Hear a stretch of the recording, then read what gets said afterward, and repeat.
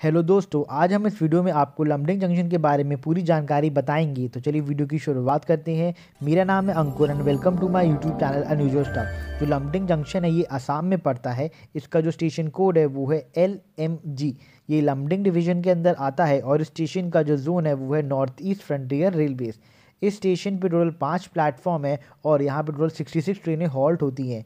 यहाँ पे तीन ट्रेनें ओरिजिनेट और तीन ट्रेनें यहाँ पे टर्मिनेट होती हैं।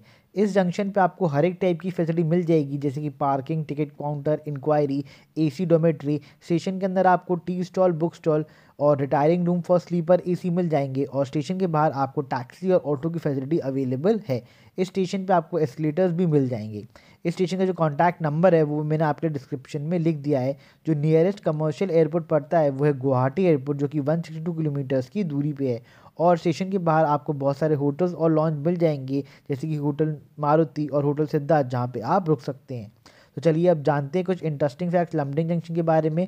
तो इससे पहले अगर आपको लगता है कि मैं और कोई स्टेशन पर वीडियो बनाऊँ तो मुझे कमेंट सेक्शन पर ज़रूर बताएँ और चैनल को सब्सक्राइब करके मुझे मेरे मिशन जिसमें मैं इंडिया का हर एक स्टेशन कवर करना चाहता हूँ, इसमें मोटिवेट करें। तो जो लमडिंग जंक्शन है, इसको 1903 में बनाया गया था। ये एक इलेक्ट्रॉनिक रेलवे स्टेशन नहीं है, इसका काम अभी प्रोग्रेस में चल रहा है।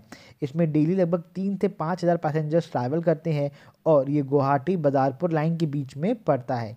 ये एक जंक्शन है जो कि समुद्र से लगभग 138 मीटर्स की ऊंचाई है और इस स्टेशन की जो कैटेगरी है, वो है एन एस डी फोर या कैटेगरी ए का स्टेशन माना जाता है। जो मेजर ट्रेनें स्टेशन पर रुकती या गुजरती हैं, वो है पूर्वोत्तर राजधानी एक्सप्रेस दिब्रूगढ़ कन्याकुमारी एक्सप्रेस जो कि लॉन्गेस्ट ट्रेन मानी जाती है वर्ल्ड की।